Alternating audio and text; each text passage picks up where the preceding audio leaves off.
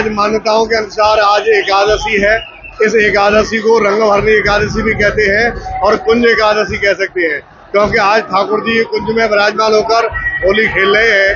और ये मान्यताओं के अनुसार कुंजन होरी रे, श्याम पिया रसिया। प्रिया, प्रीतम दोनों ही कुंज में विराजमान होकर होली खेल रहे हैं। और 22 तारीख को ठाकुर जी बगीचे विराजमान होकर होली खेलेंगे।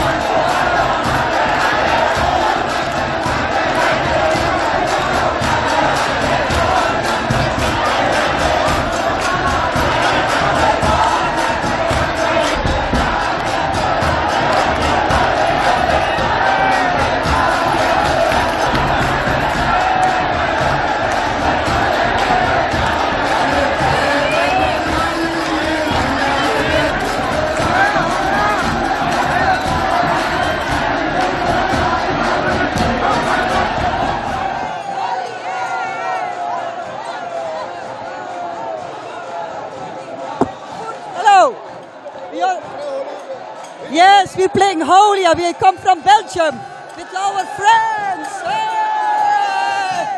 And we love it. Oi. Very good. Yeah. Holy! Let's stay together! Let's stay together! Peace for everyone! Holy, holy! Holy is fantastic. Very nice experience.